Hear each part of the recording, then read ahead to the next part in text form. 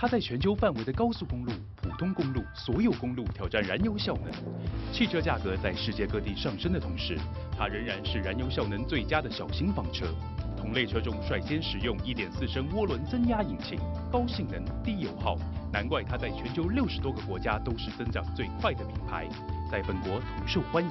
全新 Chevrolet Cruze，同级车系中最省油，超越一般驾驶。Cruze。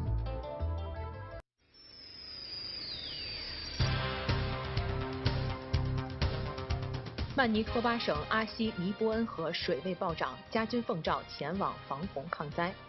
非洲难民船只地中海沉没，近六百人遇难。热带风暴艾丽，菲律宾吕宋岛登陆，十三人死亡，十万人受灾。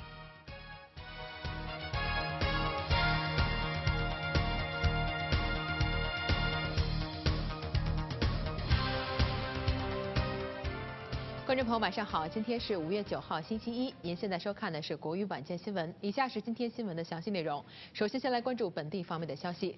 多伦多 Finch Avenue 加 Allen Road 路口今天发生交通事故，一辆救护车被一节不知什么原因从货车上脱节的车厢撞到，造成救护车上的一名急救人员受伤。事故是在今天早晨八点三十分左右发生的。根据警方介绍，当时这辆救护车正沿 Allen Road 向南行驶。一辆货车沿 Rainrock Road 东行线转向 Allen Road，货车的货柜脱钩，撞上了这辆正在等红灯的救护车。救护车内一名四十三岁的女急救人员受伤，她被送往医院救治，目前伤势稳定。受到事故影响，该路口被迫关闭了数个小时，造成严重的交通堵塞。世家堡一间学校今天凌晨发生大火，一个流动课室被大火吞噬。大火今天发生在凌晨三点左右，地点位于 Kingston 加 Brimley 附近。学校的供电设备被烧毁，但是预计并不会对学生的课程造成影响。火警并没有造成任何人员伤亡。警方认为起火原因有可疑，相关人员目前已经展开调查。多伦多的地标建筑 CN 塔即将迎来它的三十五岁生日。从今年夏天开始，游客们将可以从高达三百五十米的主观景舱走到室外，更加真实的感受从空中鸟瞰多伦多的自己。这个新的景点名为“边缘行走”，游客们将分为六到八个人一组，身穿安全装备，走出主观景舱，站在一个一点五米宽的平台上观赏景色。由于平台上没有扶手，游客需要背靠墙壁来保持平衡。游客只要够大胆，就可以享受这个绝对刺激的项目。而 CN 塔也成为北美地区独一无二的极限露天景点。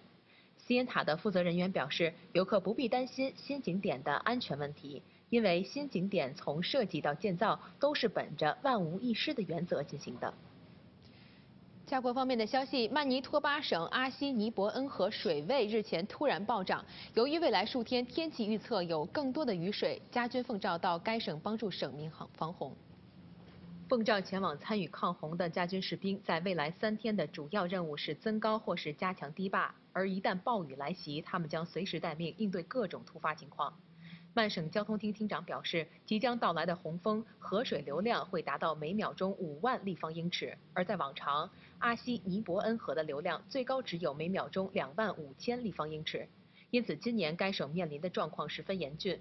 当局已经对曼省受洪水威胁最严重的地区发布紧急状态通知，并且将持续到本月二十一号。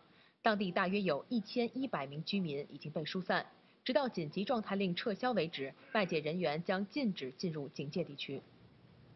卑诗省一对五十多岁的夫妇两个月前驾车前往美国的拉斯维加斯时，在途中遇阻，妻子在上周五终于被找到。美国内华达州警方今天则继续搜寻她依然失踪的丈夫。由于天气状况较差，在周末进行的两次搜索行动都被迫中断。搜救人员今天会试图从空中对发现这对夫妇车辆的区域进行搜索。五十六岁的 Rita c r c h e n 和她的五十九岁丈夫 Albert c r c h e n 两人在三月中旬驾驶一辆两千年 Chevrolet Astro 前往拉斯维加斯，在途经内华达州东北部的 Alco 镇时，车子陷入泥泞的小路被困住。三天后，丈夫 Albert 一人出外求援，至今没有再出现。妻子 Rita 在之后的五十多天里独自一人，一直靠喝血水、吃糖果和维他命丸维持生命，直到周五下午才幸运地被发现。警方指出，虽然 Albert 携带了全球定位系统仪器，但并没有穿着足够的衣服应对恶劣的天气。警方希望 Albert 能够找到猎人搭建的小木屋暂时躲避，但表示找到他的希望十分渺茫。另一方面，失踪夫妇的儿子上周日前往医院探望正在接受治疗的母亲。他表示，母亲虽然瘦了三十磅，但是恢复状况良好。来看国际方面的消息，巴基斯坦总理吉拉尼今天在议会发表演讲，对美国在突袭行动中击毙本拉登一事显示出巴基斯坦有参与密谋或失职行为的说法进行了反驳。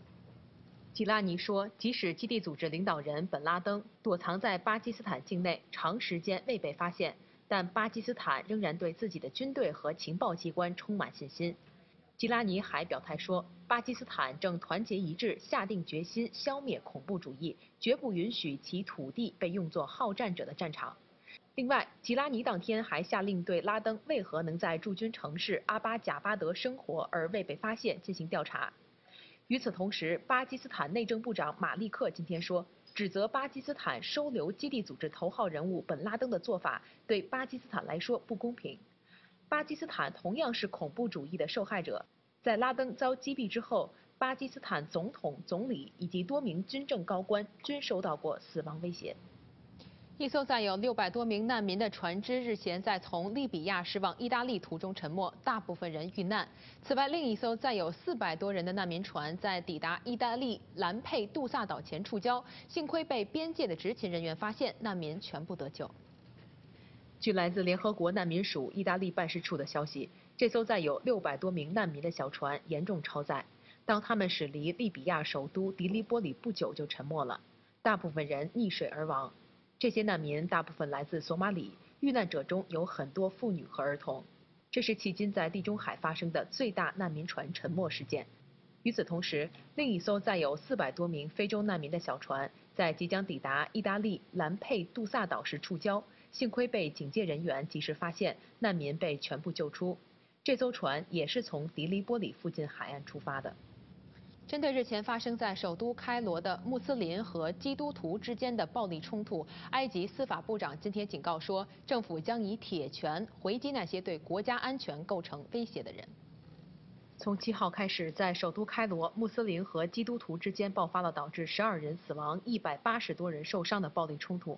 埃及军方说，有一百九十多人被捕，这些人将面临军法审判。最高军事法庭说，此举意在阻吓进一步的暴力行为。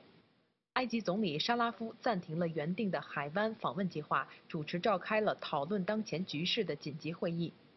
暴力冲突的导火索是一个流传了一个多月的传闻：一名基督教妇女在改嫁一名穆斯林男子后，希望改信伊斯兰教而遭到软禁。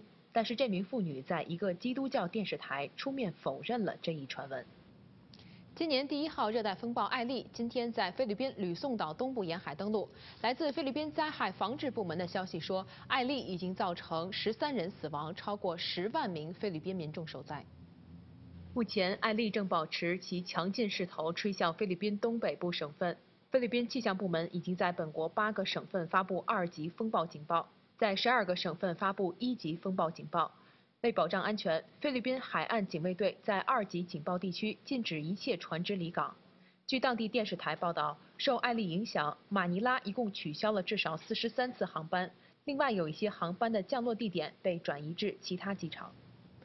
日本中部电力公司今天宣布，公司已经暂时关闭了旗下位于日本中部的滨冈核电站。外界担心关闭滨冈核电站势必会导致日本电力紧张的局面进一步恶化。